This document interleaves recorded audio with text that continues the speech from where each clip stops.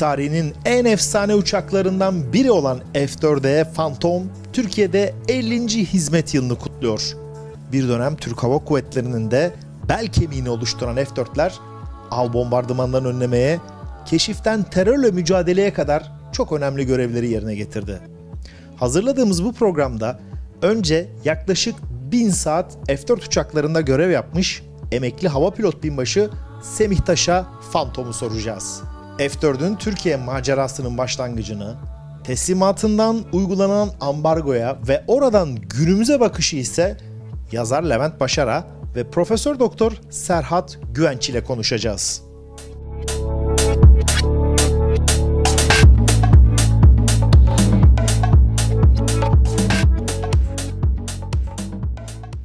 F4 demişken tabii bir F4 pilotuyla konuşmak lazım. Emekli hava pilot binbaşı Semih Taş'la beraberiz. Ee, e, sizlerin öncelikli olarak F4 ile ne zaman uçmaya başladınız ve benim hem merak ettiğim F4'e ilk uçuşunuzu yaparken o kokpitin içine oturdunuz, gaz kollarını ileri verdiniz. Ne hissettiniz? Biraz sizden dinlemek isterim. Ee, selamlar tekrar. Ee, F4'te ilk defa 1980 8 yılında uçmaya başladım. Harbi hazırlık eğitiminde. F5'te harbi hazırlığı bitirdikten sonra çektiğimiz kura sonucunda F4'e tayin oldum. ve onu çok istiyordum. F4'te uçmayı zaten. İlk önce 1988 yılında Konya'da 3. Anajet üstünde 131 filoda F4 harbi hazırlık eğitiminde e, ilk kokpite Konya'daki F4'lerin içine oturdum. Daha doğrusu pilot olarak ilk önce oturdum. Daha önceki e, yaşantımda küçükken abimin de F4 pilot olması sebebiyle e, lisede e, F4'ün içine oturmuştum ama pilot olarak ilk defa 1988 yılında Konya'da 131 filoda oturdum. İlk oturduğumda tabii çok heyecanlandım çünkü çok uçmak istediğim bir uçak tipiydi. E, F5'ten sonra kokpit bana biraz daha e, sandalyesi biraz daha aşağıda geldi. Kenardaki havalıkları biraz daha görünürdü. F5'e göre görünümü biraz daha yandan e, daha kısıtlıydı. Ama tabii çok heyecanlandım. E, ben tabii şeyi sormak istiyorum. Gaz kollarını ileri doğru attınız ve e, uçak pistte ilerlemeye başladı. Nasıl bir güç hissettiniz? E, bu ilk sortide biraz pilot olarak daha önce uçtuğunuz uçak tipleriyle karşılaştırabilir misiniz? Tabii ki iki tane J-79 motorunun verdiği 17 bin libre thrust e, özellikle F5'e göre e, gaz kollarınızı gaz kollarını açtığınızda ve AB'ye girdiğinizde e, hep derler e, tekme hissedersiniz poponuzda diye. O tekmeyi gerçek anlamda F4'te hissettiğimi hatırlıyorum. E, iki tane J79 motorunun AV'ye girmesiyle beraber uçak inanılmaz bir şekilde akselere olmaya başladı. Ve e, diğer uçakların aksine e, burun kaldırma süretiyle kalkış süreti arasında yaklaşık e, 30 knot vardır. 135'te burunu kaldırırsınız 8 dereceye. O 165 nata kadar burun yukarıda e, kalkışa devam eder. 165 natta eğer e, kalkış ağırlığınıza göre doğru hesapladıysanız o süratte kendisi kesilir uçak. Bu da çok değişik bir aerodinamiktir. Daha önceki uçakların hepsinde e, kalkış süretinde burnu topladığınızda uçak kendisi yerden kesilirdi. Bu da çok değişik bir tecrübeydi ilk başlarda. Havalandınız, gidiyorsunuz. E, F4'ü ne gibi farkları havada hissettiniz pilota güven açısından? Tabii çift motorlu bir uçak, diğer savaş uçaklarına göre çok daha büyük bir uçak. Ee, o konuda bir pilot olarak nasıl bir hissiyat verdi size? F-4'ün her hava e, önleme ve av bombardıman uçağı olması sebebiyle radarının olması, arkada silah sistem operatörü o zamanki tabiriyle, sonradan silah sistem subayının olması veyahut da arka kokpit uçucusu, bir pilotun olması, yani arkada birisinin daha olması, e, radarın temel e, unsurlarını onun kullanması, INS'in seri, yani seyir sefer sisteminin onun ayarlaması, gerektiğinde checklist okuması, e, bu tür şeyler iki kişilik bir uçak, bir ekip uçağı olması ama bunun yanında e, silah sistemleri olarak mod, o zamanın şartlarında modern mühimmat kullanıyor olması e, çok farklı bir e, konseptti bizim için. Çünkü ben uçuş okulundan mezun olduktan sonra harbi hazırlık eğitimine başladığımda F5'te harbi hazırlık eğitimini bitirdim. F5'te bitirdikten sonra F4'e e, başka uçağa geçebilmek için e, seçenek ya F104 var ya, vardı ya da F4 vardı. E, ben F4'ü istiyordum ve şanslıydım. Bu konuda F4'e gittim. F4 her havada her türlü kabiliyeti olan müthiş bir uçaktı o zaman için. Tabii F-16'lar vardı ama F-16'ya kıtadan belli bir tecrübesi olan pilotlarımız gidiyordu. Oraya gidebilmek için ya F-104'teki filoların kal olması ee, daha doğrusu F-104'deki F-104'ün modernize olması gerekiyordu veya F-4 filolarından da F-16'ya seçiliyordu. Onun için e, o dönemde F-4 bizim için her havada her türlü görev yapabilen en güzel uçaklardan bir tanesiydi. Bir de tabii F-4'ün havada anormal duruma girmesi, biz tabii e, izlediğimiz havacılık filmlerinden o anormal durumdan çıkış oldukça zor. Bunlar sizi pilot olarak korkutuyor muydu? Hayır korkutmuyordu. Çünkü e, harbi hazırlık eğitiminde e, bunlarla ilgili eğitim yapıyorduk. E, gerçekten e, uçak aerodinamik olarak ilginçtir. E, mesela uçağı 60 derece burun yukarı çekersiniz. E, anormal duruma girmesine engel olmak için e, angle of attack'i azaltırsınız. 3-8 AOA yani ortalaması 5 AOA'dir. Yani uçağın burnunu ittirirsiniz. Uçak uygun bir taraftan yıkılır. Burun ufkun altına geldikten sonra sürat kazanmaya başladıktan sonra e, uçağı e, anormal durumdan çıkartabilirsiniz. Bu e, diğer taraftan e, 60 derece burun yukarı çeker terse geçirirsiniz. Normalde ufka doğru çekmeniz lazım. Ama F4'ün özelliğine ötürü önce angle of attack'i azaltmanız lazımdır. Yani uçağı ileri ittirirsiniz, yüksüzlendirirsiniz. Uçak yine burun aşağı ufkun altına kendi iner. Ondan sonra e, uçağı düzeltirsiniz, düz uçuş pozisyonuna getirirsiniz. Bir diğer anormal durumda e, viril tabir ettiğimiz olaydır. E, F4 e, virile pek girmez ancak e, hava muharebesinde veya da temel manevraları esnasında veya herhangi bir sebeple virile girdiyseniz de e, virilden çıkış kumandası verirsiniz. Ama vermez, verdiğinizde uçak hala çıkmadıysa e, kuyruk paraşütünü açarsınız havada. O kuyruk paraşütü açıldığında uçak stabil hale gelir kuyruk barışlı jetson attıktan sonra uçağı normal durumdan çıkartabilirsiniz. Ama onun haricinde F4'ün sürpriz yaratan bir e, hareketi yoktu. Zaten aileron rudder interconnect diye bir sistemi vardı. Flaplar ve iniş takımları aşağıdayken e, yani iniş konfigürasyonunda uçak uçağa yatış kumandası verdiğinizde belli bir miktarda da rudder kumandasını otomatik olarak veriyordu. Böyle böylelikle koordineli dönüş özellikle yere yakınken inişte koordine dönüşte e, uçak size e, uçuş kumandaları sistemi olarak da yardımcı oluyordu. E, siz tabii F4 filolarında hava yer ağırlıklı görev yaptınız. 111. filoda uçtunuz. E, taşıdığınız yükler bu görevi yapması açısından biraz da F4 değerlendirir misiniz bize?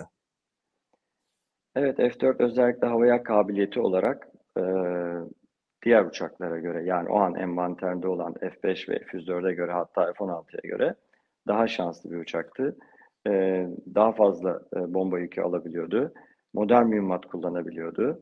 Ki o zaman hatta ve hatta ilk başlarda F-16'da biliyorsunuz e, AMRAAM yoktu. Sadece AIM-9 e, Sidewinder füzeleri vardı. Yani ısıya güdümlü füzeler vardı. Fakat F-4'ün radar güdümlü AIM-7 Sparrow füzesi atma kabiliyeti vardı ki bu, bu bize her hava önleme e, şansı tanıyordu. E, hava yer olarak da bütün modern mühimmatları kullanabiliyordu. E, ben özellikle daha doğrusu 111 filoda PD2 serisi e, F4'lerde yani 77 model uçaklarda uçtuğum için daha da şanslıydım. E, hava yer kabiliyeti olarak e, INS'lerimiz LW-33 e, dijital INS'lerdi ve böylelikle CCIP ve CCRP dediğimiz modları yani e, sabit reflektör değil, atış esnasında, dalış esnasında bombayı bırakacağınız noktayı kendi kendine hesaplayan ve ona göre reflektörün hareketli halinde olduğu ve hatta reflektörün ortasındaki noktayı hedefin üzerinden geçirdiğiniz ve bastığınızda bombayı oraya gönderen çok da güzel o zamana göre ve F-4'lerin içinde başka filolarda olmayan çok güzel bir kabiliyet vardı. Bunun yanında modern mühimmat olarak da EUGB, elektrooptik güdümlü bomba, AGM-65 Maverick, lazer güdümlü bombalar, e, Durandal e, pist tahrip bombaları e, ve normal klasik genel maksat e, Max 81, Max 82, Max 83, Max 84 modlarında gayet rahatlıkla taşıyabiliyorduk. E, bugün tekrar şöyle bir zaman makinesi olsa sizi yıllar önce götürse tekrar F4 ile uçmak ister misiniz? Çok isterim. E, hava kuvvetlerine geri dönme e, için yaşım müsait olsaydı ve bana tekrar F4'te gel F4'te uçuracağız seni deselerdi ki şu anda biliyorsunuz F4 2020'ler uçuyor modernize olmuş hali ki ben o uçakta uçmadığım halde geri dönüp tekrar F4'te uçmayı çok isterdim. Şöyle bir pilot olarak size nasıl bir güven veriyor ve e, oturduğunuz zaman yani geçmişte kaç saat uçtunuz bilmiyorum F4'te ama e, şöyle bir kısaca bir F4'ü bize birkaç cümleyle anlatmak isteriz iste, ister, istesek sizden neler söylersiniz? E, F4'te toplam 1000 saat uçtum. 1000 saate yakın uçtum öyle söyleyeyim. E, F4'ü nasıl tarif edelim? E, bunu gerçekten anlatmak çok zor. Hep klasik bir tabir vardır ya, tarif etmek zordur, yaşamak lazımdır diye. Ben de ancak öyle tabir edebilirim. F4'ü gerçekten onun içinde oturmak lazım. Onun onu uçurmak lazım. Onun kokpitinde bulunmak lazım neler hissettiğimizi. Çok güvenilir bir uçaktır. E, motor thrust'ı inanılmazdır. O kocaman cüssesine rağmen e, inişte mesela yere bir karış palya pozisyonda gaz kollarını militeri açtığınızda o uçak oradan e, pas geçer. E, inanılmaz e, ne diyelim e, trust'ı e, ve e, aerodinamik olarak özellikleri uçağı uçmayı çok zevkli kılar. Ama tabii limitlerini ve şeylerini iyi bilmeniz lazım. E tabii bu bahsettiğimiz F4'ün E modeli. Yani otomatik slotların falan çalıştığı model. E, önceki modellerde bu kadar e, fazla pilota yardımcı şey yoktu. Mesela slotlar otomatik değildi. E, eski Almanya'dan gelen e, GAF dediğimiz RF4'lerde bulunan e, slot flap sistemleri bizim kendi F4 evlerimize göre biraz daha farklıydı. Orada kanadın üstünden e, sınır tabaka aşmasını önlemek için üfleme vardı aynı 104'teki gibi flap konduğu zaman. Yani e, uçtuğumuz E modelleri gerçekten F4'ün en güzel modellerinden bir tanesiydi. F4'te uçmak bambaşka bir şeydir. Ee, biz özel bir yayın içerisinde e, 50. yılını Türk Hava Kuvvetleri'nde F-4 Phantom uçaklarının kutluyoruz bir taraftan. Bir taraftan da sizler o uçakta 1000 saate yakın uçmuş bir pilot olarak e, bizim de bu yayınımıza katkı verip anılarınızı anlattığınız için çok çok teşekkür ediyoruz. Sağ olun. Ben de beni davet ettiğiniz için çok teşekkür ederim. İyi yayınlar diyorum. Tarihler 30 Ağustos 2024'ü gösterirken Türk Hava Kuvvetleri'nin çok önemli uçaklarından bir tanesi F4E'lerin şu an tabii F4 2020 olarak e, modernize edilmiş bir şekilde hizmet veriyor. 50. yılını kutluyoruz ve bugün 3 e, e, değerli konumla birlikte buradaki bu Türkiye'deki 50 yıllık yarım yüzyıllık hikayeyi birlikte değerlendirmeye dilimizin döndüğünce anlatmaya çalışacağız ve sevgili Levent Başar'a ve sevgili Profesör Doktor Serhat Güvenç'le beraberiz. E, aynı zamanda bu ikilinin biliyorsunuz çok güzel Kıbrıs Barış Harekatı ile ilgili iki önemli kitabı var. Üçüncü eli kulağında e, sevgili Levent, Serhat abi e, sizlerden üçüncü kitabı büyük bir e, keyifle bekliyoruz. E, tabii orada konular F-100'ler, 102'ler, F-5'ler, e, kara havacılığımız, deniz havacılığımız e, onu beklerken çok da Kıbrıs muhabbetini uzatmadan hemen F4'e başlıyorum. Şimdi tabii aslında uzatmadan derken Kıbrıs Barış Harekatı'yla çok özdeşleşmiş bir uçak. Çünkü harekatın bitiminden, ikinci harekatın bitiminden birkaç gün sonra gündem çok yoğunken 30 Ağustos'ta Eskişehir'e bu uçaklar geliyor. Ama ben bir öncesine dönmek istiyorum. Serhat abi 1970'lerin başında F-4'ler gündeme geliyor. Nasıl gündeme geliyorlar? Ve Türkiye'nin dünyaya bakışı neden hani böyle bir uluslararası anlamda bir önce sizde başlayalım. Ne olduğunu bir e, sizden dinleyelim. Şimdi o dönem yani 70'lerin başında Phantom, F4 Phantom uçağının ne ifade ettiğini anlamak için herhalde bugün F-35'in e, ifade et, bugün ifade ettiği anlama bakmak lazım. Yani döneminin en e, yaygın bilinen, en güçlü ve en çok e, talep edilen av bombardıman uçağıydı. E, ve 1970'li yıllara geldiğinde aslında ülkelerin güç hiyerarşisindeki yerini de simgele, simgeler olmuştu F-4 Phantom sahibi olmak.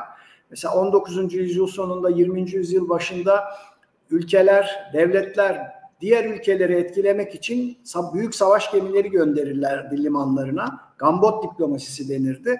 Bu 70'lerde yani 20. yüzyılın ikinci yarısında bu yerini e, savaş gemisi göndermek yerine herhangi bir kriz bölgesine bir filo fantom göndermeye bırakmıştı. Hani fantomun e, dünya siyasetinde böyle bir etkisi vardı. Hakikaten e, çok güçlü.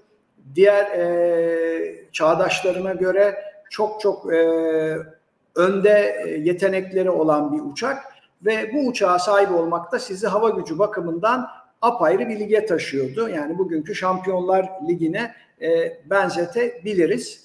E, birkaç nedeni var Türkiye'nin radarına girmesinin e, F-4'lerin 1970'ler geldiğinde. Birincisi e, Sovyetlerin 1964 yılında MiG-25 e, savaş uçağını ilk kez uçurmaları ve 1970'te filo hizmetine sokmaları birinci neden. Çünkü MiG-25'ler özellikle Türkiye'ye yakın yerlerde konuşlandırılmaya başladıktan sonra Türk hava sahasını çok yüksek hızla ve çok yüksek irtifalarda ihlal etmeye başladılar. Ve Türk Hava Kuvvetleri'nin elinde bunlara önleme yapacak herhangi bir uçak yoktu. Çok zorlanıyordu Türk Hava Kuvvetleri. Bu birinci neden. İkinci neden Yunanistan talibi olmuştu F-4'lere. Yani onlar da işte e, 60 civarında 50 küsur yanılmıyorsam e, F-4 almak istiyorlardı. E, sipariş vermek istemişlerdi ancak o sırada Yunanistan e, bir hayli otoriter bir askeri rejimin yönetimindeydi. Bir Yunan cuntası vardı Yunanistan'da ve Amerikan Kongresi F-4'lerin Yunanistan'a satışına çok da sıcak bakmıyordu. Dolayısıyla Yunanistan'ın verdiği F-4'lerin e, teslimi de gecikme yaşandı. E, Amerikan iç siyasetinin böyle bir etkisi oldu. E son olarak da tabii e, Türkiye kendini bölgesinin önemli bir gücü e, kabul ediyor. Hava gücünün yenilenmesi gerekiyor ve 1967'de NATO esnek mukabeleye geçmiş. Yani nükleer silahlara dayalı caydırıcılık ve savunmanın yerine e, nükleer silahları ve konvansiyonel sil, e, silahları e, ihtiyaca göre krizin ve çatışmanın boyutuna göre devreye sokan ve böylece de karar vericilere esneklik sağlayan bir strateji benimsendi. E, bu stratejide konvansiyonel yeteneklerin geliştirilmesini öngörüyor. E, Türkiye bu anlamda e, bu stratejiye uyum göstermek ve kendi milli özellikle Kıbrıs'ta yoğunlaşan milli çıkarlarını korumak adına e, F-4 Phantom uçakları almaya karar veriyor. Yani askeri gücünü arttırmak için ve REMO diye bir plan e, duymuşsunuzdur. Reorganizasyon ve modernizasyon yani Türk Türk Silahlı Kuvvetleri'ne dönüştürmeye dönük bir plan ve bunun hava kuvvetleri ayağı e, F4 40 adet F4E Phantom 2 uçağının alınması. Zaten Remo e, planının uygulaması da aslında Amerika'ya 40 Phantom uçağının sipariş edilmesiyle başlıyor. E, bu sipariş sanıyorum 72'nin 1972'nin ikinci yarısında gerçekleşiyor. Ben meclis e, tutanaklarını araştırırken 1972 yılının savunma bütçesi görüş, görüşmeleri sırasında dönemin savunma bakanına Ahmet Buldanlı isimli bir milletvekilinin bizim niye fantom uçağımız yok sorusunu yönelttiğine rastladım. Ee, dönemin savunma bakanı Ferit Melen de e, evet diyor maalesef ordumuzda fantom uçağı mevcut değildir. Elbette ki isteriz en modern fantom uçaklarına sahip olmayı fakat bize yardım yapan müttefiklerimiz henüz bu uçakları bize vermemişlerdir diyor. Yani Amerikan yardımıyla bunların hibe olarak gelmeyeceği anlaşılınca e, işte bu askeri krediler, dış askeri krediler kanalıyla bunları temin etme yönünde bir girişim başlıyor ve 72 yılının ikinci yarısında 40 adet F-4 Phantom uçağı sipariş ediliyor. Böylece o dönem için Türk Hava Kuvvetleri'ne çağ atlattıracak bir adım da atılmış oluyor. Ben şimdi burada lafı Levent'e vermek istiyorum. E, Levent'in bugün sitemizde yayınlanan iki gün sürecek bu yayın e, eski hava kuvvetleri komutanlarından Orgeneral, emekli Orgeneral Ergin Celesin'le bir röportajını okuyacak izleyicilerimiz. tolgozbek.com sitesine lütfen girsinler. Ertesi günde emekli albay Zübeyir Batur'un anılarını okuyacaklar.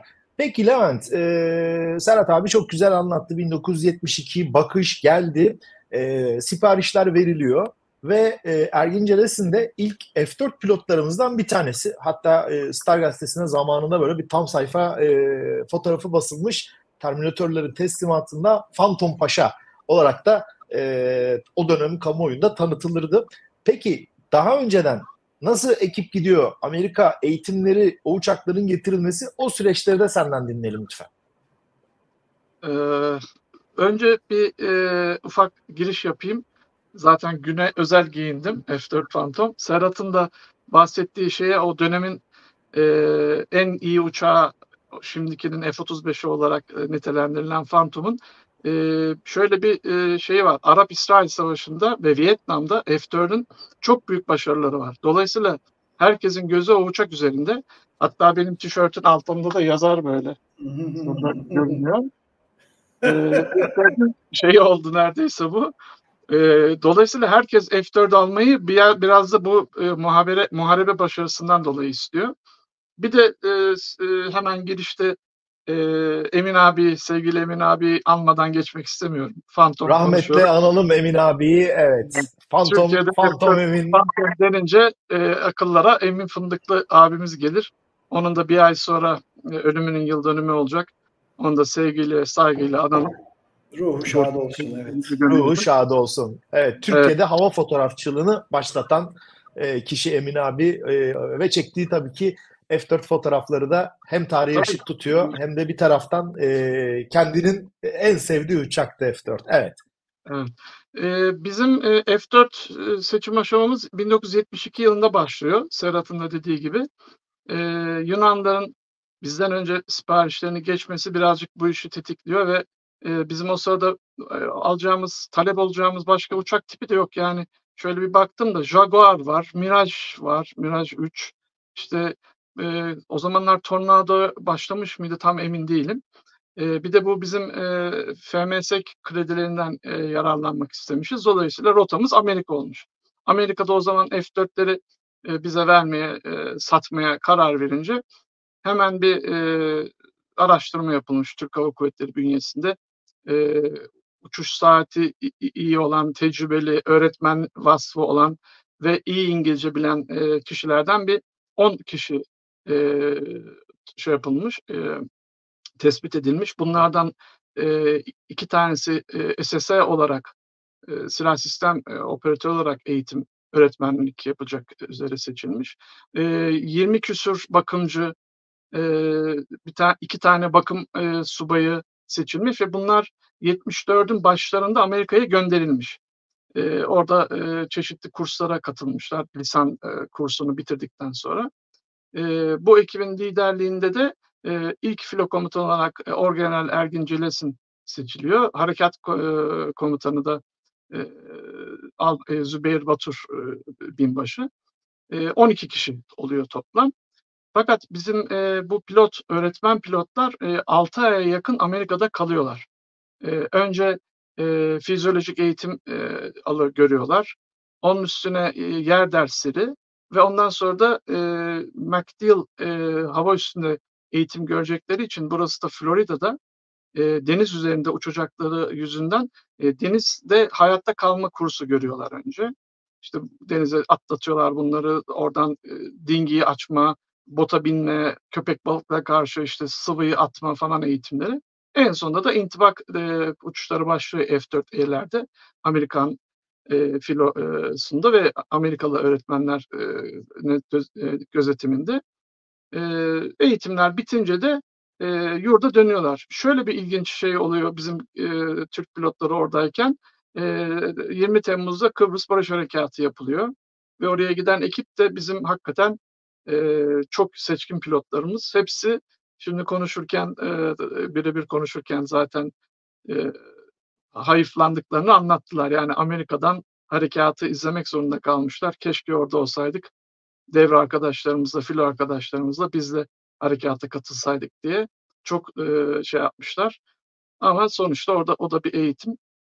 Ağustos sonunda Türkiye'ye geliyorlar ve e, ilk filonun e, kuruluşu için çalışmalar başlıyor. 30 Ağustos'ta da ilk iki uçak 016 ve 017 kuyruk numaralı F4 saat iki buçuk sularında 1. Anajet Üst Komutanlığı Eskişehir pistine teker koyuyor. Amerikalı pilotlar getiriyor uçakları. Ee, ben tabii burada e, Serhat abiye de bir şey sormak istiyorum. Uçaklar geliyor ve e, Kıbrıs Barış Harekatı'ndan belirli bir süre sonra Türkiye silah ambargosu Amerika Birleşik Devletleri e, tabii bunun resmi tarafı başka, uygulama tarafı başka.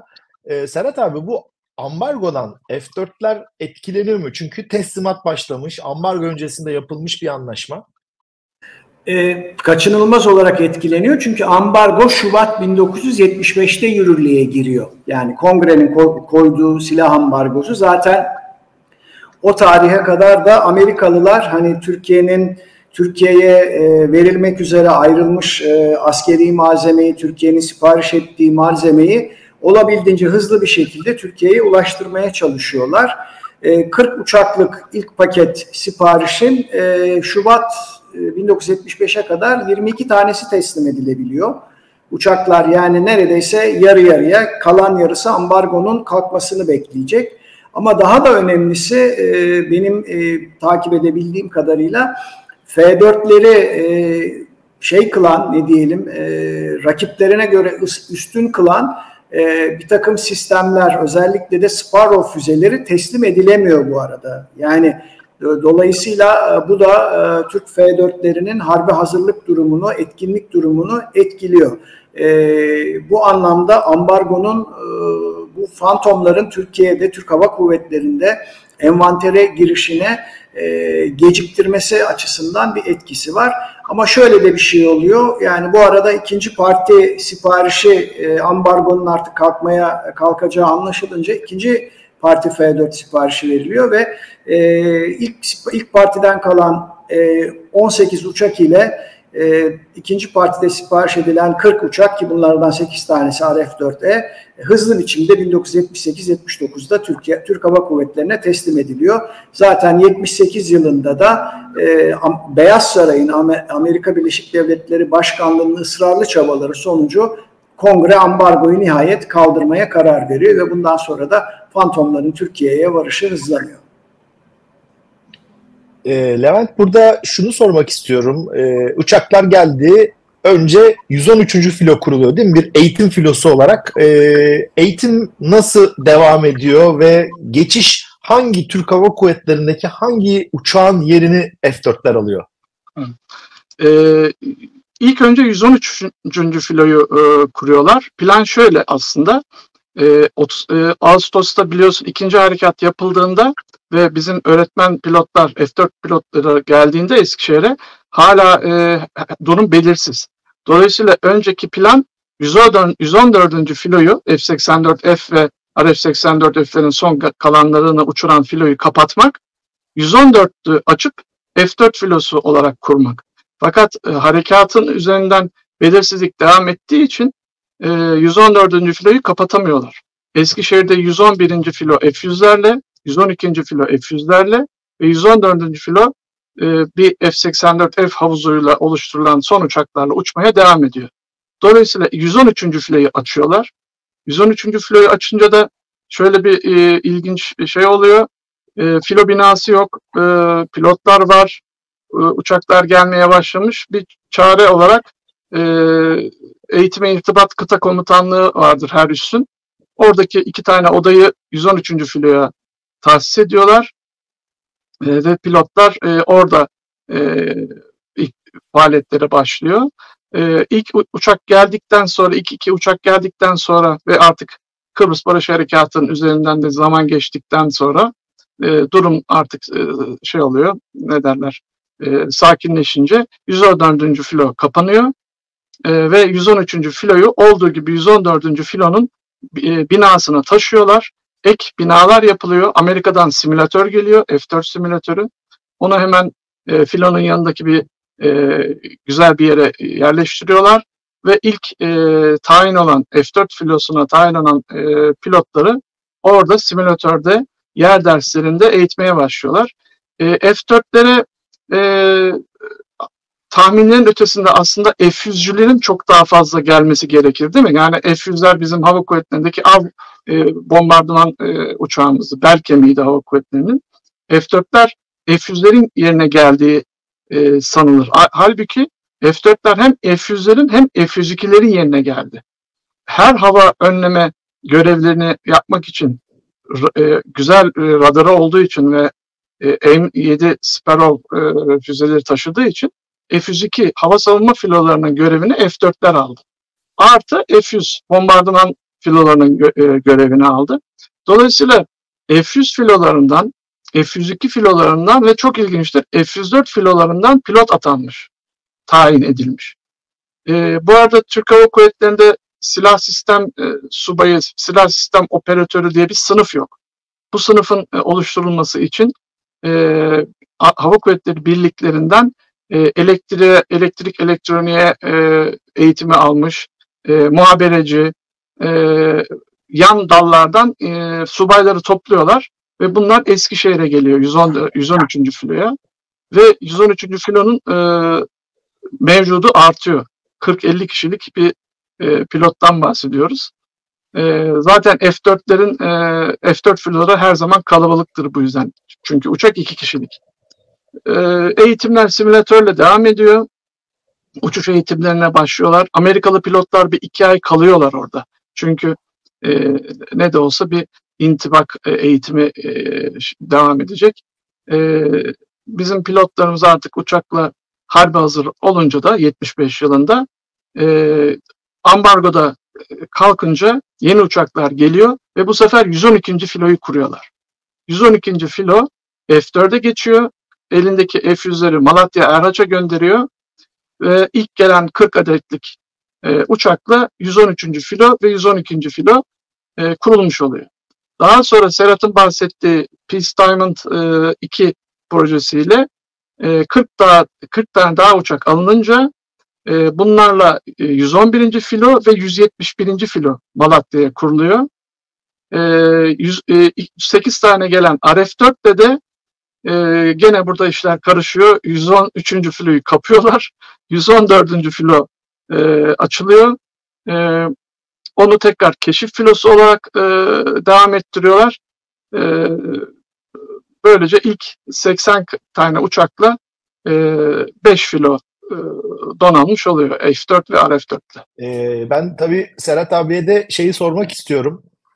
Türkiye'de tabii e, bu F4'lerin gelmesi, arkasından ambargonun kalkmasıyla birlikte çok ciddi bir modernizasyon ve Türk Hava Kuvvetleri'nin bölgedeki rolü ağırlığı nasıl bir pozisyona geçiyor? Çünkü 74 sonrasında da artık hani Yunanistan'la yavaş yavaş sular kaynıyor. Ee, bir daha hasım ve buraya karşı daha hazır olmak konusunda da Türk Hava Kuvvetleri'ne ek görevler veriliyor. Şimdi ambargonun en yıkıcı etkisini Türk Hava Kuvvetleri bu Yunanistan'la e, rekabette hissediyor. E, Yunanistan Kıbrıs Barış Harekatı sonrası e, e ambargo nedeniyle hava kuvvetlerini güçlendirmede sorun yaşayan Türkiye'nin içinde bulunduğu durumu bir avantaja çevirip e, Fransa'dan Mirage F1 CG önleme uçakları F-102'lerin yerine ve A7 e, H modeli e, hafif taarruz uçakları satın alıyor. Ve e, onların da da bir F-4'leri sipariş ediliyor. Hatta son partisini PASOK iktidarı iptal ediyor. E, e bir hayli e, ne diyelim geniş bir F-4 e, şeyine sahip, envanterine sahip Yunan Hava Kuvvetleri. Ve Mirage F1'ler sayesinde de F4'ler ve Mirage F1'ler sayesinde de Ege'de aslında Türk Hava Kuvvetleri'ni zor duruma sokacak bir güce erişiyorlar.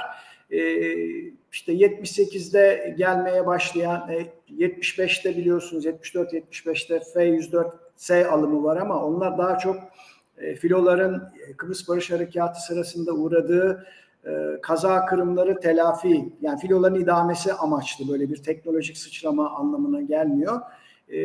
Yunanistan'a karşı dengenin sağlanması hatta üstünlüğün ele geçirilmesi için 1987'de F-16'ların hizmete girmesini bekleyecekler. Beklemek zorunda kalıyor Türk, Türk Hava Kuvvetleri ama e, F-4'lerin gelişi hiç olmazsa Türk Hava Kuvvetleri'ne mevcut durumu, mevcut gücünü korumasına yardımcı oluyor. Belki bu anlamda Levent'in söylediğine bir ek yapayım. Çok doğru bir tespit yaptı o. Yani çok pek göz ardı ettiğimiz bir şeye değindi. Hem her hava önleme filolarına hem de av bombardıman filolarına tertip ediliyor şeyler. F-4'ler, e, Phantom'lar.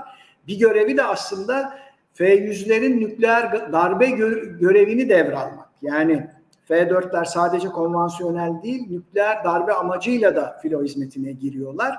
Ama bu göreve başlamaları ambargonun bitişinden çok sonra yani sanıyorum 1983 yılına kadar falan e, beklemek zorunda kalıyor. Çünkü e, Amerikalıların Kıbrıs Barış Harekatı sırasında e, filolardan çektiği nükleer silahların geri dönmesine Türkiye'de sivil hükümetler izin vermiyorlar. Ancak 12 Eylül darbesinden sonra askeri yönetim döneminde nükleer görevlere Türk Hava Kuvvetleri geri dönmeye başlıyor ve 1900 sanıyorum 82-83'ten itibaren F-4 ve F-104 filoları nükleer darbe görevine dönüyor.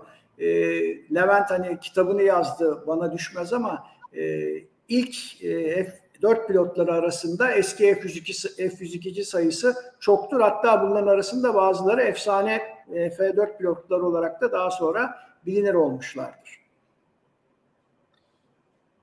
Levent burada e, sözü biraz sana bırakalım. E, 80'lere doğru geldiğimiz zaman e, ikinci F4 üstümüz Malatya oluyor. Arkasından bu arada tabii yardımlarla ikinci el F4'lerde Türk Hava Kuvvetleri envanterine gidiyor. E, ve 1987'de F-16'nın girişine kadar kamuoyunun herhalde hava kuvvetleri deyince fantomlar olarak adlandırılan tek bir uçak tipi akıllarda kalmaya başlıyor. Diğer üstlerdeki F4 kullanımını da biraz anlatır mısın bize? Ee, uçaklar gelmeye başladıkça tabii e, ikinci el dediğimiz e, Air National Guard'dan e, F-4'ler gelmeye başlıyor. Bununla Malatya'daki 172 ve 173. filolar e, kuruluyor. F-4'e geçiyor. En sonunda zaten Konya 131 ve e, 132 e, filo diyeceğim ama şimdi tam emin değilim. E, bu yeni gelen F-4'lerle e, teçhiz ediliyorlar.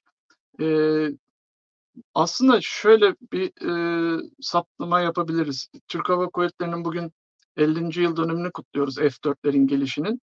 E, dünyada Amerika ve İsrail'den sonra bu uçağı en iyi kullanan, e, muhar muharebede bil fiil kullanan ve e, sayıca da çok fazla envanterimizde tutan, bakımını çok iyi bir şekilde yapan, neredeyse F-4'ün kitabını yazan 3. Hava Kuvveti, e, Türk Hava Kuvvetleri diyebiliriz. F-4'leri 50 yıl boyunca modernize ettikten sonra da e, çok e, hakkını vererek kullanmışız ve e, bir ara F-16'lar gelene kadar e, AIM-120 Serhat'ın dediği Amram füzeleri gelene kadar hava savunmamız F-4'lerin elindeydi. Onların e, her hava önleme görevindeki e, nöbetlerini doğu ve batıda olmak üzere e, tutuyorlardı. E, terörle mücadelede uzun yıllar F-4'ler çok başarılı bir şekilde kullanıldı iç güvenlik harekatında. E, dolayısıyla F-4'ün aslında Türk Hava Kuvvetleri'nde yeri çok ayrıdır. E, bir F-104'ün de öyledir, F-16'nın da öyledir ama F-4 e, hakikaten e, bir e, şeydir. Ba, yani Baba F-100 lakabını Baba Phantom olarak devralmıştır ve sürdürmüştür. Fakat e, benim görüştüğüm eski F-4 pilotlarından, ilk filoları kuranlardan ve öğretmenlerden edindiğim şöyle bir e, gözlemim oldu. F-4 Türk Hava Kuvvetleri'ne geldiğinde böyle bir çağ atlatamamış. Bir F-16'nın yaptığını yapamamış. E, bunun nedenleri e, ne o yıllara bakmak lazım. Yani 70'li yıllar, 80'li yıllar e, o zamanlar e, her şey şimdiki gibi değil. F-16'ların geldiği gibi Türk Hava Kuvvetleri'nin e, yapısı buna müsait değildi bu değişme. E, dolayısıyla bazı şeyleri çok istedikleri halde yapamamışlar. Nedir o? E, F4'ü kitabına uygun kullanmak. Yani e, İngilizce ağırlıklı, herkesin İngilizce okuyup F4'ü e, o şekilde bakımını ve eğitimini yapması. Filolarda e, çok yoğun bir şekilde e, fil, pilotların F4 ile beraber e, üssün de tamamen değişime uğraması. Bunu F4'te o, e, şey yapamamışlar, başaramamışlar. Bunu e, söylüyorlar. O yüzden alınan dersler ışığında F-16'lara çok fazla önceden böyle hazırlık yapılmış e, ve F-16 ile Türk Hava Kuvvetleri çağ atlamış. Çağ atlamaktan kastımız bir uçağın ve silah sistemlerinin gelmesi değil. E, nizamiyesinden başlar bu işler. Yani hepimiz biliyoruz hava üslerine girdik. İnsanların e, bakış açıları, e, fikirleri, beyin yapıları değişiyor. F-16'da bu başarılmış. E, o yıllarda F-4'te pek yapılamamış bu. E, bir uçak tipi değiştirmişiz gibi olmuş ama daha sonraki yıllarda F4'e alıştıkça ve F4 e, filoları artık e, harbi hazır oldukça e, hakikaten bu uçağın hakkını vererek e, uçurmuşuz. Ben tabii şeyi de sormak istiyorum. Aslında kaza oranlarına baktığımız zaman da tabii bir 50 yıllık bir hizmet var. Türk Hava Kuvvetleri'nde ciddi sayıda kaza, kırım. Belki de Levent bu noktayı çok önemli bir noktaya değindin. Çağ atlatmak, ilerletmek şeklinde. Muhtemel bu kazaların nedenlerinden bir tanesi de işte anormal duruma giriş gibi epey bir kaza var onlarla ilgili. E, burada da böyle bir parantez açıp bunu da belirtmemizde fayda var. E, ben tabii bir de 2000'li yıllara doğru gelmek istiyorum. Günümüze doğru. E, 2000'li yıllardan itibaren Türkiye'nin önünde iki yol var. E, bir F-35'in seçimine doğru bir yol giderken bir taraftan ya yeni e, F-4'lerin yerini alacak bir çift motorlu uçak ihtiyacı bakılıyor ve tabii o yıllarda 90'ların ikinci yarısı yoğun bir terörle mücadele, bütçesel anlamda Türkiye'de e, bu kadar savunma bütçesi bu projeye ayrılamıyor ve Türk Hava Kuvvetleri bir modernize etmeyi seçiyor F-4'leri ve günümüze de zaten F-4'ler bu modernizasyonla geliyorlar. O biraz da modernizasyondan Levent konuşmak istiyorum. Ee, bir anda tabii yapı çok eski bir yapı F4 ama sahip olduğu sistemler, radarı, atış sistemleri oldukça modern ve günümüzde de hala özellikle terörle mücadelede F4 e, büyük bir görevi hala yerine getiriyor. Biraz da Terminator'u dinleyelim senden. Hı hı. Ee, F4 modernizasyonu e, aslında şöyle, bizden önce bunu yapan e, Almanya ve Yunanistan var. Almanya e, hava savunma ağırlıklı bir modernizasyon tercih ediyor. Ee, Yunanistan da e, nispeten öyle bir modernizasyon tercih ediyor. Bize de o sırada e, ben o zamanlar savunma havacılıkta e, yeni göreve başlamıştım. F-4 modernizasyonu çok konuşuluyordu. E, gördüğüm kadarıyla F-4 moderniz e, sadece uçakları modernize etmek değil de bazı kabiliyetleri de kazanmak istiyordu hava kuvvetleri. Bu nedir? Bir uçağı yapısal modernizasyonuna nasıl yaparsın? Kablosunu değiştirmesi, işte e, yapısal değişikliklerin yapılması ve bunların bazılarını Türkiye'de yapmak istiyordu. Yani ihaleyi tamam o zaman İsrail IAI şirketi aldı ama e, oraya bazı uçaklar gitti. E, büyük bir miktardaki e, modernizasyon Eskişehir'de Hava İkmal Bakım Merkezi Komutanlığı'nda yapıldı. Oradaki kurulan laboratuvarlarda ve e, atölyelerde daha sonra e, bu kabiliyetlerle F-5 modernizasyonuna devam edildi ve o fabrika çok güzel bir e, hale kavuştu. Şimdi rakamsal olarak o yıllar hatırlıyorum bir F-4 modernizasyonunun toplamı o Popeye füzeleriyle, radarıyla falan e, atıyorum X miktardaydı. E, bunun 600 yerine, milyon dolar gibi hatırlıyorum ben. Galiba 690 milyon evet. Fakat o sırada e, muhtemelen e, şimdi burada şey olacak ne derler e, niyet okuma olacak ama Amerika bizim bu şeyimizi görmüş olabilir. F4 modernizasyonunun arkasındaki istediğimizin ne olduğunu görmüş olabilir. Bize F-15E'leri teklif ettiler. Uçaklar geldi burada Mürtet'te. bazı komutanlarımız uçtu. F-15, 2 filo F-15E'yi bize satmak istediler o zaman. Ha alsaydık ne olurdu? Bir iki filo alırdık, bir iki filo daha alırdık. Belki çok daha fazla para verecektik muhtemelen. Ee, F4 modernizasyonuyla elde edeceklerimizi edemeyebilirdik bir ihtimal. E, bu da neyi hatırlatıyor bize? E, eski İkinci Dünya Savaşı'ndan sonraki e, Türkiye'nin durumunu anlatıyor. O zamanlar Türk Hava Kurumu'nda bazı uçaklar yapılmış, e, hatta yurt dışına satmışız. Ne olmuş? Bakmışız e, güzel ilerleme kaydediliyoruz, kaydediliyor. e, Amerika'dan yüzlerce uçak gelmiş. E, hibe. E, P-47'ler, P-40'lar ve e, uçak sanayimizin daha o zamanlarki ilk adımları böylece e, sekteye uğratılmış. Belki benzeri de, denenmek istedi, istendi F-4 modernizasyonunda. E, ve be, o, o zamanki yöneticiler e, F-4'ü modernize edelim, yeni uçak tipine gerek yok dediler ve böyle bir yola gittiler. Bu tartışılır. Yani işin mühendislik kısmını, e, ekonomik kısmını alt alta üst üste koyup e, karşılaştırmak lazım. Yani F-15E gelseydi ne olurdu? F-4 modernizasyonunu yapmasaydık ne olurdu diye.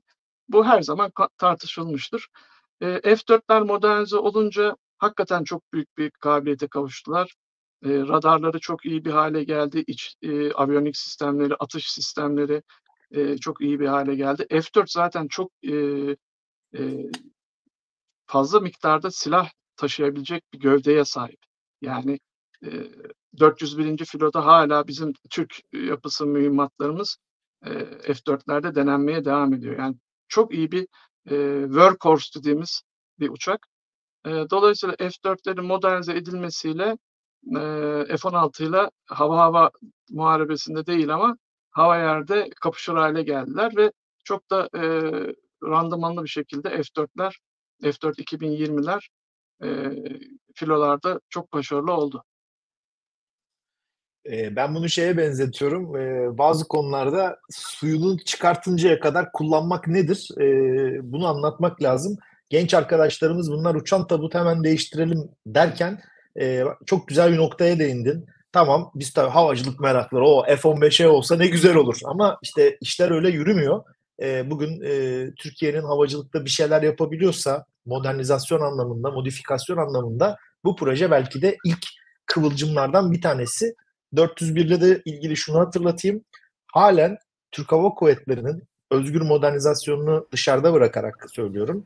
Ee, ana görev bilgisayarına, sistemlerine tamamen erişim hakkı olduğu, istediği yazılımı yükleyebildiği tek uçak programı muharip uçak olarak F-4E 2020 programı e, muhtemel birkaç yıl içerisinde herhalde F-4'ler yavaş yavaş sahneden çekilecek ama e, 401 filoda uçabildiği kadar o uçaklar test mühimmatlarına e, test etmeye devam edecek diye düşünüyorum. Burada tabii Serhat abiye de sormak istiyorum. E, özellikle işte F4 modernizasyonu olarak dış açıdan bakıldığı zaman e, Türkiye'nin durumu, dengeler, yani o bir bizim elimizi bir belirli bir yıl e, rahatlattı gibi ama tabii şu an için bunu söyleyemeyeceğim daha 2000'lerin başlarında. E, Serhat abi siz ne düşünüyorsunuz bununla ilgili? Şimdi Levent varken bana söz düşmez çünkü Levent bu konuyu çok araştırdı. Hatta onun hazırladığı bir yazıyı benim adımla basmak zorunda kaldık. Levent'in çalıştığı yerde yaşadığı sorunlar nedeniyle. Dolayısıyla e, onun anlattığının üzerine söyleyecek fazla bir şeyim yok ama konuşma sırasında ben işin aldık. dış politika ve strateji açısından ha, soruyorum. Sizin ha, yani, e, sizin tarafa doğru. Yoksa ha, Le- Levent çok güzel nokta atışı yaptı onu. Tamam. Yani bir kere bu Terminator modernizasyonu herhalde Levent'i hatırlayacaktır ki bizim ilk dostluğumuzun başladığı yıllarda biz 1995'te yanılmıyorsam Eskişehir'deki birinci Hava İkmal Bakım Merkezi'ni ziyaret etmiştik. F-104 uçakları ile ilgili ve bize şey demişlerdi. Tam uçak bizim uçağımız oldu, hizmetten çıktı. Aslında bir birikimin üzerine tabii o modernizasyon projesi, Terminator projesi ve ben yabancı basında da şeyi hatırlıyorum. Poor man's F-15E yani böyle e, ne diyelim fakirlerin F-15E'si ya da düşük bütçeli F-15E gibilerinden yorumlar yapılıyordu. F-15E'nin yaptığı işi en azından hava yer anlamında büyük ölçüde yapan bir e, uçağa dönüştü analog analog bir uçaktı, dijitalleştirildi. E, bu anlamda da bir köprü oldu aslında. Hani Türkiye'nin bu e, dijital e, şeyin e, sistem entegrasyonunu öğrenmesi açısından e, bu çağ atlama konusunda belki bir nüans eklemek isterim Levent'in söylediğine. Teknolojik anlamda bir çağ atlat, atlattığını söyle, söylememiz mümkün değil F4'ün hakikaten Türk Hava Kuvvetleri'ne. E, Mesela TISEO diye bir sistem var. İlk gelen ilk geldiklerinde F4'lerin üzerinde Target Identification System Electro-Optical. Bunları bizimkiler hiç kullanamamışlar. E, Phantom'ların, e, F4'lerin sol kanadının hemen böyle neredeyse e, kanat gövde birleşimine çok yakın bir noktada bir şeydir o. Soba borusu gibi bir şeydir amiyane tabirle. E, optik şeydir bu, e, tar- e, algılayıcıdır. Bunu bizimkiler hiç kullanmadılar ve Faspatlardan sonra da bunlar söküldüler. Ben yıllar sonra 92 yılında falan Silahlı Kuvvetler dergisinde yayınlanan bir makalede terörle mücadelede hava kuvvetleriyle ilgili bir makalede orada bir galiba e, bir hava generalde hayıflandığını okumuştum. Ya biz bu TCO'ları zamanında kullanmayı öğrenseydik şimdi çok işimize yarardı diye. Bu işin teknolojik boyutu. Ama şeye bakarsanız e, NATO içerisinde F-4 kullanıcısı toplam 5 tane üye var. Bir tanesi Amerika Birleşik Devletleri, diğeri İngiltere, Almanya ki Almanya'nın F-4'leri e, Türkiye'nin edindiği F-4'lere göre yetenek bakımından bir hayli geri en azından ilk alındıklarında Yunanistan ve Türkiye var. Yani bu anlamda e, Türkiye'ye lig atlatıyor. O anlamda bir çağ atlatma e, boyutu olduğunu söyleyebiliriz. F-15'lere gelince e, Levent yine hatırlayacaktı ki biz o konuyu takip ediyorduk. O, ilk Yunanistan talip oldu F-15'lere. İlk Yunanistan denedi onları. Hatta Ege üzerinde bizim F-16'larla kapıştıklarına dair haberler falan da okumuştuk. Sonra Yunanistan talip olunca Türkiye de talip oldu. E, ve e, sonra ama maliyeti çok yüksek geldi. Bir de Levent'in çok e, gayet güzel ifade ettiği şekilde e, Türkiye'ye kazandıracağı yerel kabiliyetlerden mahrum kalmak gibi bir sonucu olacaktı F-15'e almanın. E, bu da aslında Türkiye'nin Amerika'ya e, silah sağlamada izlediği bir politikadır. Ne zaman Türkiye bir eşiği aşacak gibi olsa Amerika o eşiği aştığı takdirde üreteceği şeyleri çok daha düşük maliyette Türkiye'ye sağlar ve bir anlamda da e, bu alandaki gelişmenin geliş, e, gelişmenin biraz önüne geçer. E, bu açıdan baktığımızda F-4E'ler yani e, Terminator 2'ler modernize edildikten sonra hakikaten Türk Hava Kuvvetleri'nin e, iki çok rollü uçak e, hedefiyle uyumlu görev yapmaya devam ettiler. Ben şeyde kullanıldığını hiç rastlamadım. Hep Türkiye çok uluslu harekatları hep F-16'ları gönderdi. F-4E'leri gönderdiklerine hiç rastlamadım ama sınır ötesi operasyonlarda çok kullanıldı. Ee, ama Levent'in söylediğini tekrar etmek gibi olacak. Ama F-4'leri hakkıyla, layıkıyla kullanabilen birkaç ülkeden birkaç hava kuvvetinden bir tanesi oldu Türk Hava Kuvvetleri. E, ve e, yine şeyi belki değindi ama söyleyeyim bu Popeye füzeleriyle de Türkiye o dönem için e, çok önemli bir caydırıcı kabiliyet kazanmıştı e, komşularına karşı. Çünkü Türkiye'nin özellikle Orta Doğu'daki komşuların elinde balistik füzeler vardı. Balistik ve e, balistik füzeler vardı. Bunlarla Türkiye'yi tehdit ediyorlardı. Bir anlamda da bu Popey'lar sayesinde ve daha sonra Türkiye'nin tabii kendi geliştirdiği son füzeleriyle birlikte e, bu anlamda denge ve caydırıcılık yeniden sağlanmış oldu. Bugün tabii daha çok prestij boyutu var F4. Yani e, işte geç, geçtiğimiz Riyad, Riyad e, ben gidip izlemedim ama YouTube'dan videoları izliyorum. Böyle Türk ve Yunan F4'lerine mutlaka yer veriliyor. Çünkü artık bunlar nesli tükenmek üzere olan uçaklar, nadir türler. Bu açıdan ilgi çekiyor.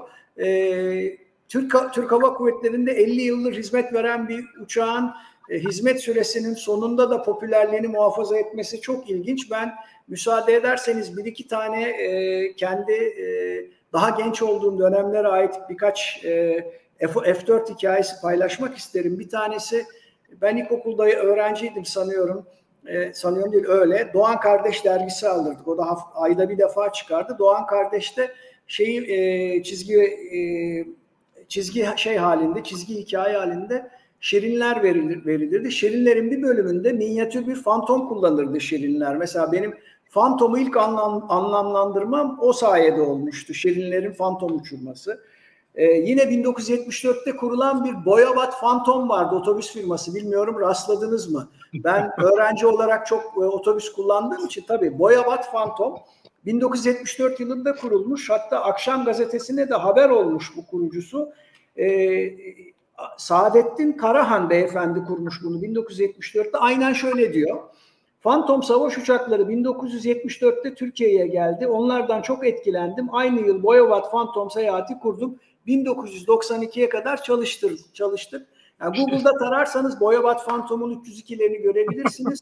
e, yan tarafında da Phantom'dan çok böyle Tornado Javelin kırması bir uçak şey var ama hani bu Phantom'un e, toplumda da bir karşılığı olduğunu o zaman e, bize gösteriyor. Aynı onu hatırlarsınız 80'li yılların sonlarında böyle otobüslerin arkasında hafif kargaya benzeyen tombul F-16 şeyleri, evet. tabloları olurdu anımsarsınız. Yani e, bir tek bu F-35'lerde olmadı aslında. Yani F-35'ler kamuoyunda Phantom'ların ve e, savaş F-16'ların uyandırdığı ilgiyi uyandırmadı. Dolayısıyla Phantom bir dönem için e, hem güç simgesi hem modernite simgesi hem de halkın e, gözüne kulağına hoş gelen bir ifadeydi e, ve ona göre de e, belleklerde iz bıraktı. Şimdi de işte hava gösterilerinde seyrediyoruz. Biz de gittiğimiz zaman değil mi yani aman iki tane F4 geliyor yani işin havasını değiştiriyor. Öyle bir şey ama maalesef e, çok uzun ömürlü olmayacak çünkü galiba faydalı ömürlerinin, faydalı kullanım ömürlerinin e, sonuna geldiler ve artık değiştirmeleri gerekiyor tabii. 50 yıl uzun bir süre ne olursa olsun. Ben tabii bir parantez açayım. Anadolu Kartalı tatbikatlarında fotoğrafçılar spotter günü e, konulduğu zaman yurt dışından gelen e, ki rakam e, yanlış hatırlamıyorum 600-700 kişi yurt dışından gelir. E, bunların tamamının neredeyse aklında ya bir F4 geçse de görsek e, çünkü gerçekten çok prestijli farklı bir uçak. E, bu da önemli. Ben şimdi burada topu Levent'e atayım. E, Levent biraz F4'ün böyle bir ilginç olaylarını dinlemek istiyorum senden. E, istersen 5000. Fantom'la başlayalım. O uçağın da e, Türkiye'ye verilmesi çok ilginç. Yanlış hatırlamıyorsam halen 5000. Phantom e, sen kuyruk numarasını söyle 770279'du galiba. 770290. 290 e, faal olduğunu e, tahmin ediyorum çünkü modernize edildi. E, birkaç yıl önce de çeşitli havacılık gösterilerine de o 5000. Phantom logosuyla katıldı. E, 5000. uçak bizde e, sanıyorum 5000 küsür 5040 adet civarında herhalde Japonya ile yapılan e, imalatla birlikte 5000'in biraz üzerinde F4 üretimi yapıldı e, tüm dünyada Japonya ve Amerika olmak üzere 5000. uçak o mavi beyaz boyamalı uçak sonrasında Türk Hava Kuvvetleri'ne geldi ve bu uçak aktif. Umarım hizmetini de aktif olarak e, herhangi bir kaza kırıma uğramadan tamamlar. Bizde 5000. Phantom var. Kendi kendine inen F4'ün hikayesi var. E, biraz senden dinleyelim onu istersen. E, 5000. Phantom'la başlayalım. E, bizim e, sipariş verdiğimiz ikinci Peace Diamond e, projesinde e, o uçak denk geliyor. Fabrikanın ürettiği 5000. Phantom. E, uçak e, üretimden çık, üretim hattından çıktıktan sonra McDonnell Douglas firması bu uçağa özel bir boyama yapıyor. E, beyaz, mavi, e, açık mavi şeklinde. Yanlarda da kullanan ülkelerin e, bayrakları. E, ve şeye denk getirmişler. McDonnell Douglas firmasının 20. kuruluş yıl dönümüne denk getirmişler. 5000. Phantom'un e, roll-out seremoni yani teslim edilme töreni yapılmış. E, özel filmler çekmişler, fotoğraflar çekmişler. Bununla ilgili YouTube'da iki tane görüntü var. Hmm, e, o izleyiciler oradan bakabilir, search edebilirler e, YouTube'da. E, bu uçak e, daha sonra uçak olarak e, bize gelmiş Eskişehir'e. Bundan sonrası yok. Yani bu uçağı biz nasıl teslim almışız? Uçağın boyası acaba öyle miydi? Geldiğinde bizde bir tören yapıldı mı? E, yani havacılık nosyonunun e, kopukluğunu görebiliyor musunuz? Amerika'da böyle bir şey yapılıyor ve uçak bize geliyor. E, biz bu uçağı herhalde alıp filoya vermişiz yani teslim etmişiz uçak uçmuş. E, yıllar sonra da e, ufak bir kaza karın da geçiriyor uçak. E, ondan sonra e, 112'de 112. filoda uçuyor bu uçak. E, modernizasyonu tabi tutulduktan sonra Malatya Erhaç'ta uçuruluyor oradaki filoda. E, bir ara Konya'da uçtuğuna dair birkaç fotoğraf e, sanırım hatırlıyorum Konya'daki filoda uçmuş.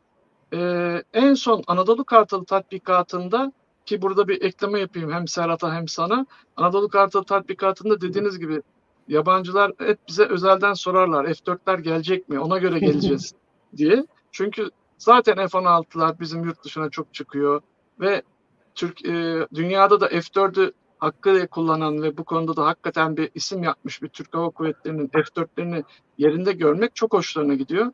Sağ olsun e, burada e, şimdi isim vermeyeyim bazı komutanlarımız F-4'leri özellikle getirilmesini sağlıyorlar Anadolu Kartalı'na ve yabancılar çok mutlu bir mesut ayrılıyor. Biz de tabii ki F-4'leri şey yapıyoruz. Orada 5000. Fantom geldiğinde Malatya'daki filonundu e, şeyi kuyruk boyaması. Fakat geçen sene e, İtalya'ya İstrana hava üssüne e, iki F4 gittiğinde bu F4'ü 111. filonun e, kuyruk boyamasıyla gördük. Dolayısıyla şu an F, bu 5000. Phantom e, Eskişehir'de uçuyor. E, buradan hani ben her, her seninle yaptığımız e, e, çekimde söylüyorum yetkililere sesleniyoruz. Tarihi uçağı lütfen e, hizmetten çıkarıldığında e, özel kapalı e, İstanbul mu olur, Ankara mı olur, özel bir müzeye kapalı ama açık havada değil, kapalı bir ortamda güzel şık bir şekilde sergileyelim. Bunu görmeye insanlar gelecektir. E, 5000. Phantom Türk Hava Kuvvetleri'nde olduğunu zaten çoğu kişi biliyor. Havacılık camiasında meşhur bir uçaktır. Dolayısıyla bu uçağı e, ona yaraşır şekilde bir emekli edelim ve korumaya alalım lütfen. E, diğer konuda senin dediğin e, kendi kendine inen bir F4 hikayesi vardır. E, bunu da ben e, birinci ağızlardan e, dinledim. E, yazı dizimizin devamında anlatacağım. E, okuyucular e, orada okusunlar. E, öyle şey yapalım. E, Tabii şimdi ilginç olayları da anlattıktan sonra e, Yunanistan bizden kısa bir süre önce F4'leri kabul etti. 50. yıl gibi çok önemli bir kutlamayı özel bir uçak boyayarak yaptılar.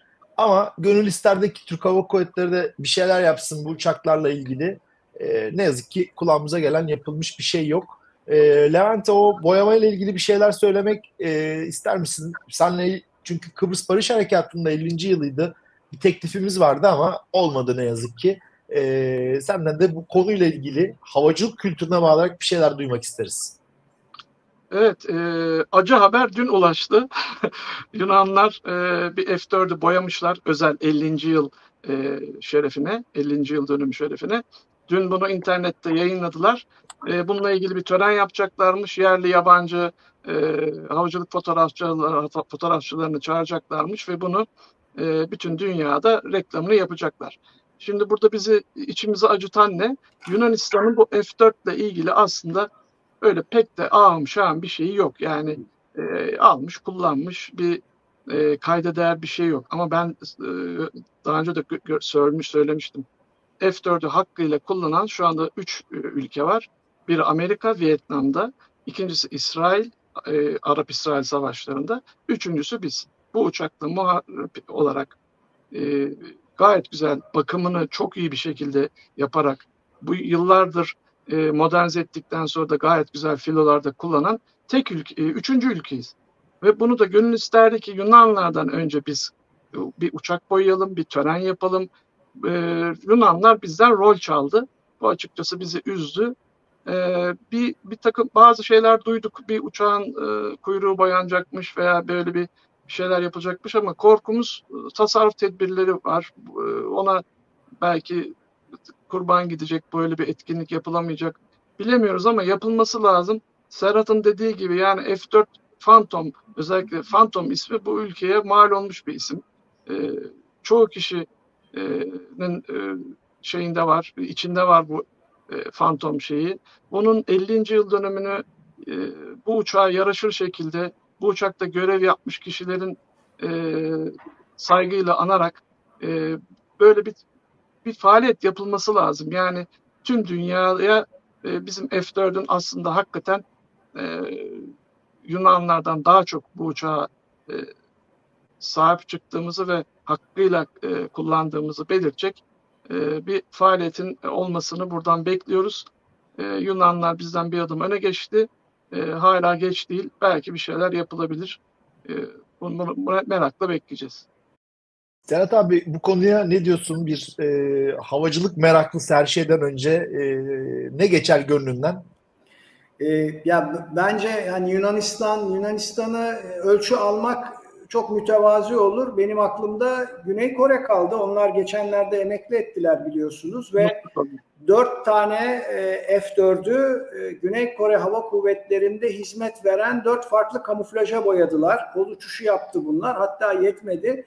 Gazetecileri uçurdular. Uçurulanlar arasında bir CNN muhabiri de vardı. Hani benim olacaksa böyle bir şey olsun. Yoksa hani boyamak nispeten kolay. Gerçi Levent haklı. Onu bile yapmıyorlar ama yani F-4 50 yıllık hizmet veren Türk Hava Kuvvetleri açısından Türk Hava Kuvvetleri'nin tarihinde önemli bir yeri olan ve yüzlerce pilotun ve e, seyri sefer şeyinin e, subayının uçtuğu e, bir uçağın e, böyle Güney Kore'dekine benzer bir şeyle e, yapılması daha iyi olur diye düşünüyorum. E, keşke yani boyasalar ona da razıyım ama benim gönlümden geçen şey e, çıtanın Güney Koreliler tarafından yükseğe konduğu nokta. Evet, burada e, beklentilerimizi, temennilerimizi de belirterek e, yavaş yavaş videomuzun sonuna gelelim. 1974'ten 2024'de 50 yıllık dönem içerisinde F4'ün Türkiye macerasını sevgili Levent Başara ve sevgili Serhat Güvenç'le birlikte konuştuk. E, başta bu uçakta e, şehit olan tüm şehitlerimizi anıyoruz. E, ve önümüzdeki günlerde biz 3 havacılık meraklısı olarak J-79'un sesini daha uzun yıllar kulaklarımızda duymak istesek de tabii ki bu eşyanın tabiatı bir yerden sonra e, bu pek mümkün olmayabiliyor ama bizlerin gönlünde hala hala F4'lerin çok çok ayrı yeri var. Çok teşekkür ediyoruz sevgili Levent Başar'a, sevgili Serhat Güvenç katkılarınız için bir sonraki videoda görüşmek üzere.